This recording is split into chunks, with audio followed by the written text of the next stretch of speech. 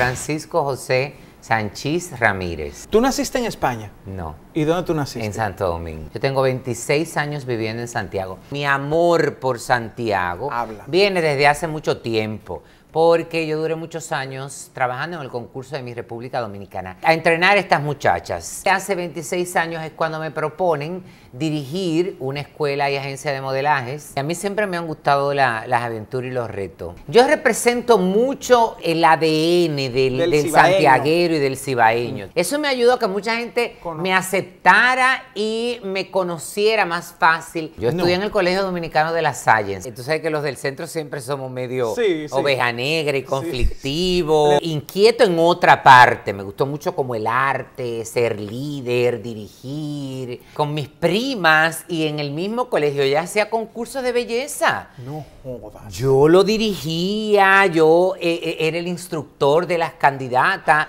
yo hacía la banda, la corona. Yo empecé a estudiar eso, eh, realmente porque estaba de moda, que es un grave error. Aquí se ha puesto de moda la comunicación social. Todo el mundo quiere salir en televisión, Sí. todo el mundo quiere hablar en, el- en la radio, sin tener ni la dicción, ni la pronunciación, ni los conocimientos. Ni la óyeme, vocación. ni la preparación. Entonces, y yo dije, ay no, yo no puedo seguir eh, eh, perdiendo mi tiempo. Me enfoqué en el área del modelaje, en el entrenamiento de candidatas a concursos de belleza. Trabajé también en una tienda de ropa de hombre. Siempre han existido esos guau guau guau de que Sí. amo una pinta.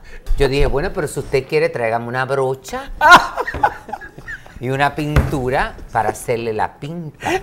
Tengo que manejar esa presión porque estoy en una etapa de mi vida que mi paz y mi tranquilidad mental, espiritual, es lo más importante. No le cojo presión a nadie.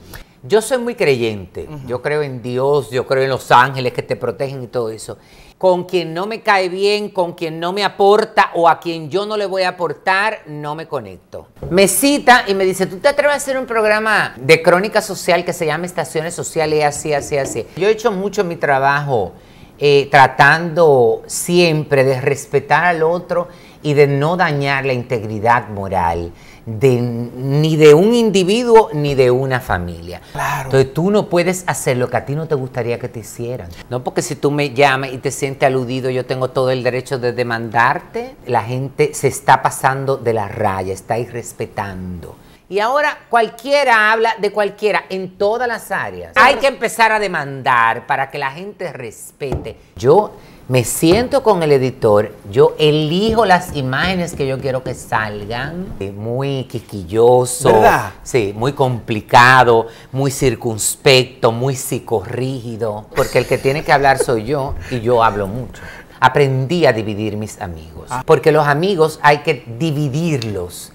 Eh, dependiendo de tu necesidad. Cuando yo veo, me pongo, oye, me gusta más dirigir la orquesta. Yo tengo 18 años en radio. Tú también te ves muy bien personalmente, te, eh, eres flaquísimo, tienes buen cuerpo. Mi pasión es la actuación. Viene mi participación en el cine, en la película de Lotom, Lotomán. Lotomán. Jugando y jugando y jugando, yo he hecho siete películas Siete. que aquí para tú progresar y para tú, eh, eh, y para tú poder desarrollarte, tú tienes que asumir el pluriempleo El obligado. pluriempleo. Entonces tenemos una capacidad que pocos países lo tienen, de que tú puedas, óyeme, el dominicano hace varias cosas al mismo lo- tiempo y la hace bien. Mujer, tú eres feminista. No, yo soy pro mujer. Yo estoy hablando de derechos, no es que yo estoy a favor del matrimonio de personas del mismo sexo. Yo eh, me he acostumbrado a estar solo eh, y, y no tengo pareja. No es que me siento feliz, no realizado.